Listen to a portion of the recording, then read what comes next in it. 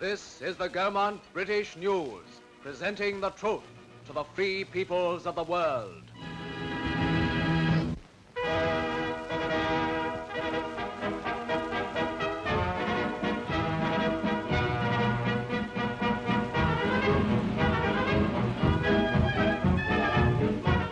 British airborne forces have had the most welcome duty of carrying out the official liberation of the oppressed countries of Scandinavia, beginning with Denmark's capital, Copenhagen.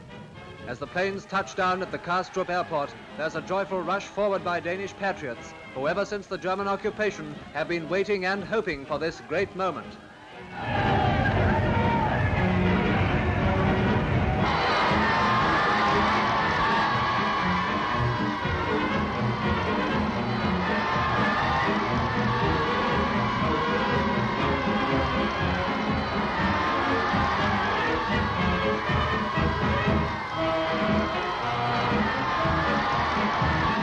Triumphal procession makes its way amid the unrestrained joy of a brave little nation which had become a helpless victim of the greed and rapacity of the Third Reich.